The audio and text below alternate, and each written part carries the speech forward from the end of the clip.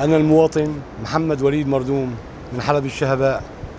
إن خمس سنوات هون محاصرين مصلحتي أشتغل سائق معدات ثقيلة هندسية لدى المجلس المحلي. بالنهار خدمات مدينة وشيل أنقاض ورفع جثث وفتح شوارع وبالليل على الجبهات نرفع سواتر ترابية. إن من شهر 12 والواحد واثنين والثلاثة والأربعة والخمسة والستة لحد الآن ما قبضنا رواتبنا ولا إضافي. على التراكس. تراكس الدولاب على الباقر على الكاميونات على الجبهات لهون. وين في محل خطر؟ وين في قتل؟ وين في قنص؟ بيبعتونا أنا لنقوم هالواجب هذا. أنا الحالية شوفير الوحيد بالمجلس شوفير الموت. مسميني شوفير الموت. ليش؟ مش أنا عم بعبون بهالواجب هذا.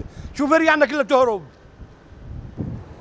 نحن مقدمين دمنا. في سبيل الوطن وفي سبيل عرضنا وناموسنا وبناتنا ونسائنا ما هو الدنيا كلها النصر من عند الله والعز من عند الله. وهي هي ما بيشيلها غير رب العالمين.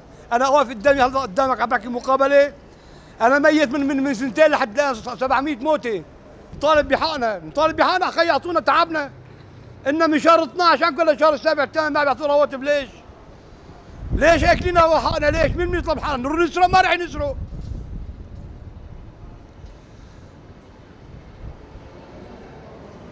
المشتكى لرب العالمين.